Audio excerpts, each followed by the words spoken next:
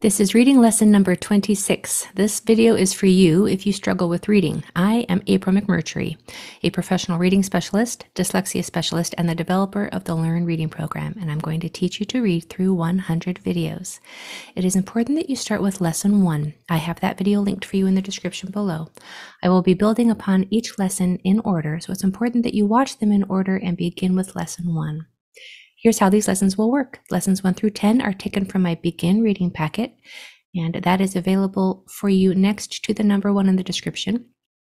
Lessons 11 through 90 are taken from my Learn Reading program, and that is next to the number two in the description.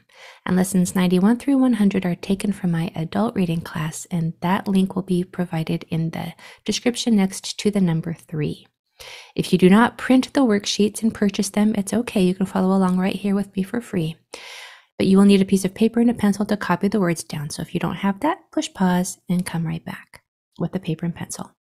I will have two videos for you each week. You are free to follow along with me here for free, or you can join me at any, any time in my adult reading class, especially if these lessons are a little easy for you. There I can help you a little more personally. And if you want to join my live adult reading class, again, that link is next to the number three in the description. If you want an online tutor, I have some rec- recommendations for those for you as well in the description. Okay, let's get started. Okay, here's where we left off. These are the last four words on your new words page in lesson 25. The first four we did together, these last four I will say for you now to make sure that you read them correctly. This first word is section section. Remember that TI, when it's in the middle of a word and there's a vowel after it, says shh. TI says shh, just like the SH. And remember O when it comes almost to the end of a word and there's a consonant at the end, then that O will change to the schwa sound and say uh.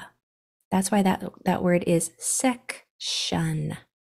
This word is assertion. Assertion. This word is patient, patient.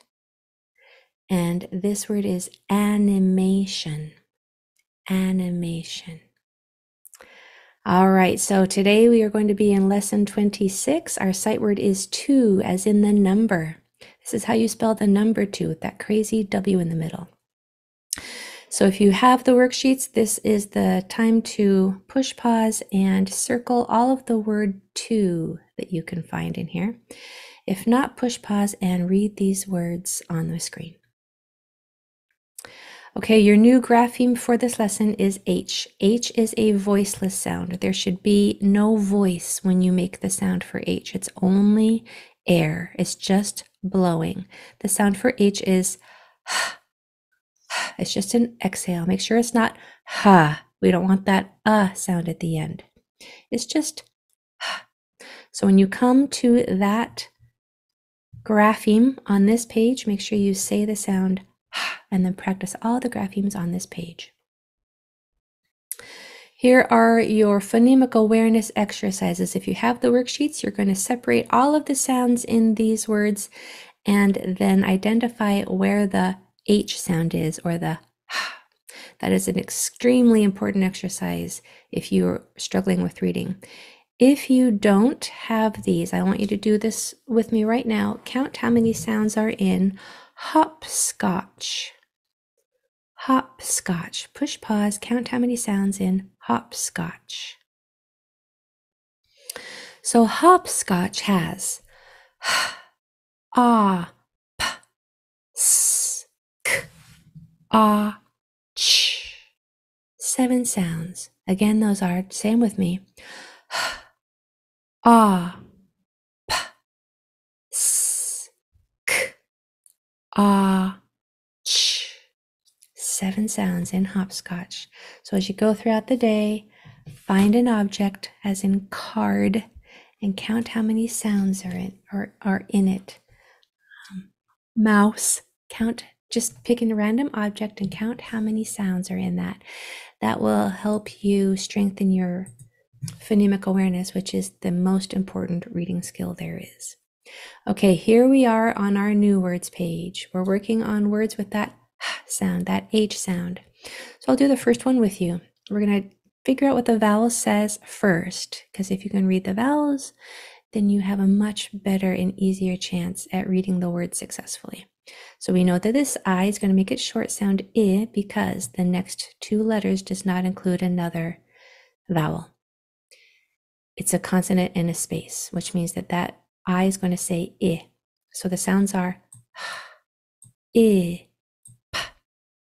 And when you push those sounds together, it's hip, hip. Excellent. Okay, I'll be quiet while you work on this one.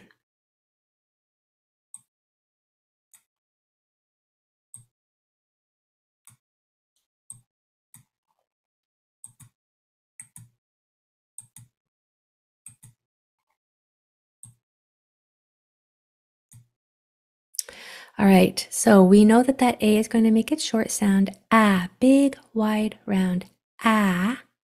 And we know that because the next two letters are consonants. We also know that Y's at the end usually say E. That's why I put a long E symbol there to remind me that Y's at the end usually say E. Now when we when we pencil read that word, we have ah, p. And I only put one dot under this first P because when you have two P's next to each other, or two of any consonant next to each other, they're going to make one sound. And we're only dotting the sounds. Okay, we're not dotting the each letter, we're dotting each sound. So both P's only get one dot. And then E. So happy, happy. All right, try this one.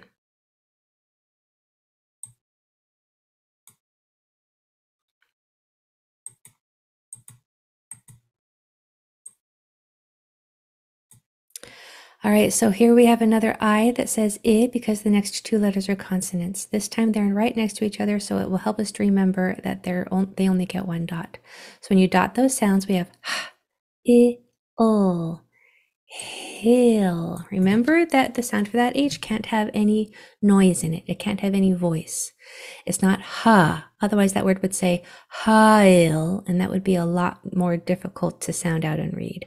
So it's important that that H only has air so that the next vowel sound can come right into it. Hill. All right, try this next one.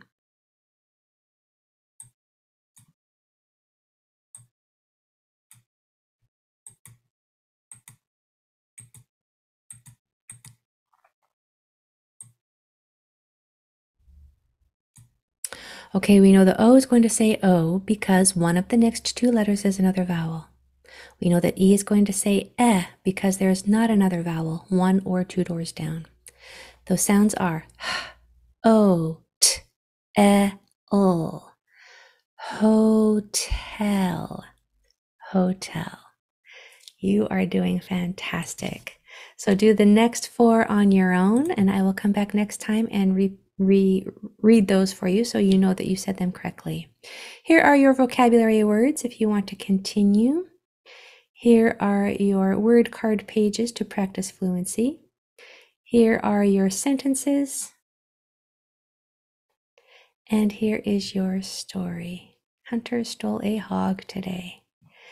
Okay, I am proud of you. You're doing amazing. Hang in there and we'll see you in the next lesson.